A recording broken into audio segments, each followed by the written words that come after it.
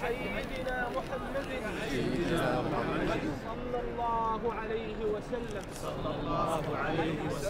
Madaxweynaha jamhuuriyadda federaalk ah ee soomaaliya xasan sheekh maxamuud oo booqasho ku jooga magaalada jiddah ee dalka sacuudi carabiya ayaa maanta waxa uu tegay masjidka barakaysan ee xaramka. Madaxweynaha ayaa shacabka iyo dowladda soomaaliyeedba ugu duceeyey amni nabad horumar iyo xasilooni waarta isaga oo fadliga cimrada awgeed alle uga baryey dhammaan bulshada soomaaliyeed inuu ka dulqaado abaarta iyo sidoo kale dagaalka lagula jiro al-shabaab kaas oo hadda ka socda koonfurta iyo bartamaha soomaaliya madaxweyne xasan sheekh maxamuud oo booqashadiisa masjidka barakaysan ee xaramka ay ku weheliyeen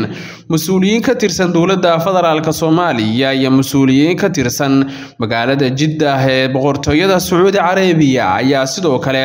waxa uu halkaa uga baryey ummadda soomaaliyeed in uu quluubtooda mideeyo islamarkaana uu ka dulqaado dhibaato walba oo haysata madaxweyne xasan sheekh maxamuud oo booqasho ku jooga magaalada jiddah ee boqortooyada sacuudi carabiya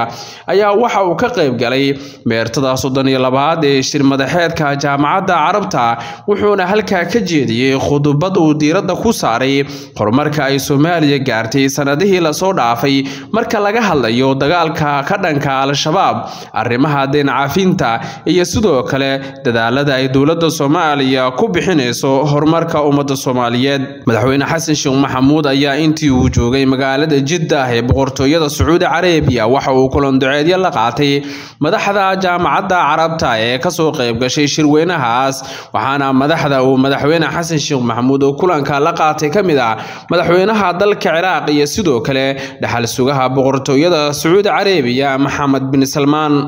Mas'uuliyiinta uu kulanka la qaatay ayaa intooda badan diiradda waxa uu ku saaray madaxweyne xasan sheekh maxamuud horumarka ay soomaaliya ka gaartay dhan walba iyo dadaalada ay dowladda soomaaliya ku doonayso in al-shabaab looga saaro inta ay ka maamulaan koonfurta iyo bartamaha soomaaliya.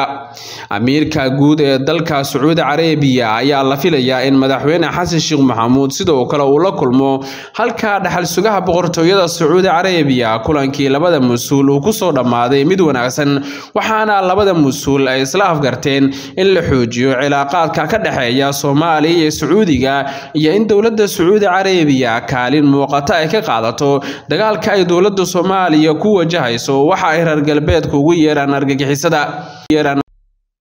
بليند على القائم الثاني على طريقة